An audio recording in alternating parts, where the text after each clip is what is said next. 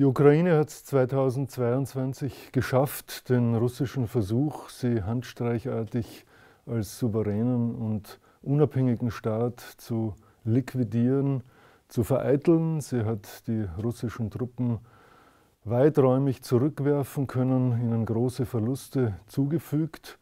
2023 hat sie den Versuch unternommen, mit einer Großoffensive die, Ukraine, die russischen Truppen aus den besetzten Gebieten ganz zu verdrängen. Das ist ihr nicht gelungen, unter anderem deswegen, weil die Unterstützung durch die westlichen Länder nicht schnell genug und nicht in dem Maße erfolgt ist, wie es notwendig gewesen wäre.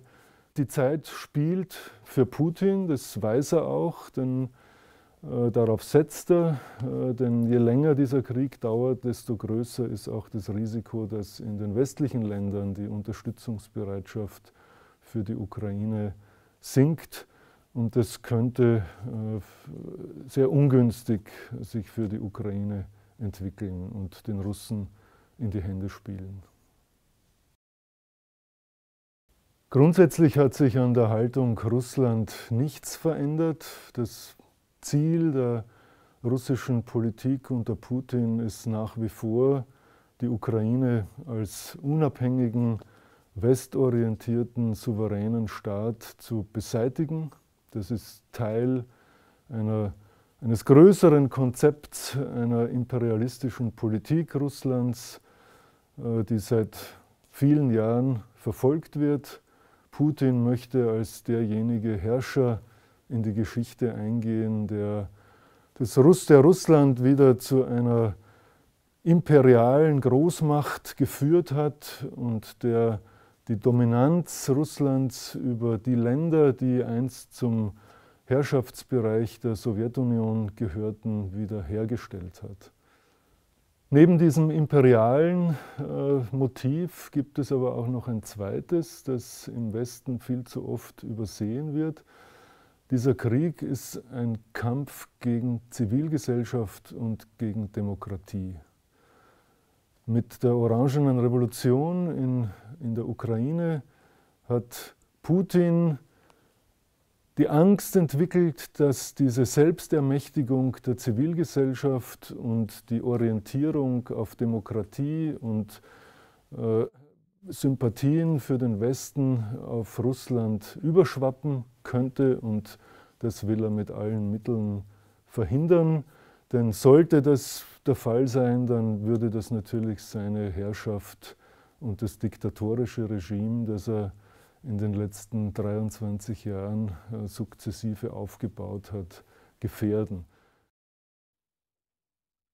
Die Ukraine ist auf die Unterstützung durch die USA und die Europäische Union angewiesen. Die Ukraine hat immer gerade so viel bekommen vom Westen, um die Lage stabilisieren zu können, aber nicht so viel, um wirklich erfolgreich diesen Krieg beenden zu können. Wenn der Westen die Ukraine unterstützen möchte, dass sie diesen Krieg nicht verliert, dann müsste er auch sein überlegenes Wirtschaftspotenzial effizienter zum Einsatz bringen. Der Westen müsste Russland klar machen können, dass es mit seiner völlig unterlegenen Wirtschaftskraft mittelfristig eigentlich gar keine Chance hat, diesen Krieg zu gewinnen. Aber dazu müssten im Westen eben auch entschlossenere Entscheidungen getroffen werden. Das Worst-Case-Szenario wäre, äh, dass die Ukraine gezwungen wäre zu kapitulieren und den russischen Forderungen nachzugeben. Das hätte unabsehbare Folgen, denn das würde Putin ja in seiner Politik bestärken, dass es möglich ist, Krieg zu führen, dass es möglich ist, Nachbarländer zu überfallen und Territorien zu annektieren, ohne dass das ernsthafte Konsequenzen hat. Das umgekehrte Szenario, das aus der ukrainischen Sicht günstigste, wäre, wenn es der Ukraine gelingen würde, die russischen Truppen aus den besetzten Gebieten zu verdrängen. Das wäre für Putin eine Blamage und ein sichtbares Scheitern seiner Politik und das würde mit großer Wahrscheinlichkeit auch das Ende seiner Herrschaft bedeuten. Mit einer neuen Regierung wäre dann möglicherweise ein dauerhafter Friede möglich. Dazwischen gibt es unterschiedliche Szenarien, die auf Kompromisse hinauslaufen könnten.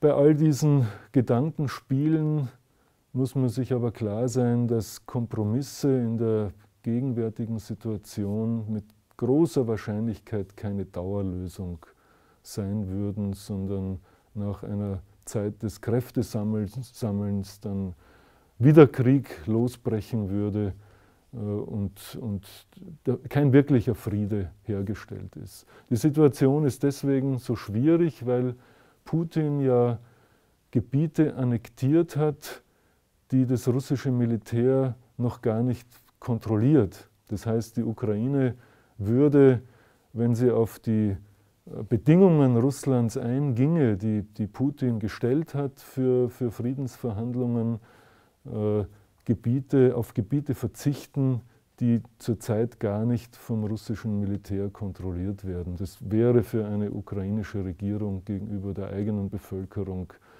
kaum vertretbar nach, nach all den Opfern, die erbracht worden sind. Der Beginn dieses Krieges war eine Aggression Russlands gegen ein Nachbarland. Niemand hat Russland bedroht, kein Nachbarland hat irgendwelche Gebietsansprüche oder sonstigen Ansprüche gegenüber Russland, sondern Russland ist ganz eindeutig der Aggressor. Daraus folgt, dass eine Friedensordnung so beschaffen sein müsste, dass die Nachbarländer Russlands dauerhaft und glaubwürdig vor künftigen potenziellen Aggressionen Russlands geschützt sind. In Bezug auf die Ukraine würde das bedeuten entweder Mitgliedschaft in der NATO oder vergleichbare Sicherheitsgarantien, die aber so glaubwürdig konstruiert sein müssten, dass Russland sie ernst nimmt. Ein wirklicher dauerhafter Friede setzt aber voraus, dass Russland, insbesondere die russische Führung, sich von dieser imperialistischen Ideologie verabschiedet, die gegenwärtig verfolgt wird und die im Volk verbreitet wird dann wäre es natürlich auch angebracht, Russland so in die künftige Friedensordnung einzubinden, dass es keine revisionistischen Reflexe entwickelt, sondern sich auch selbst gut aufgehoben fühlt in dieser Friedensordnung. Das ist eine extrem schwierige äh, Herausforderung, äh, diese, eine solche Friedensordnung herzustellen und dauerhaft Russland zu einzubinden. Ob das gelingen wird, ist fraglich. Äh, und überhaupt muss über all diesen Szenarien ja derzeit der Vorbehalt stehen, dass die Voraussetzungen nicht gegeben sind. Äh, in der, in der gegenwärtigen Form sehe ich nicht, dass, dass dieser Krieg schnell beendet werden kann.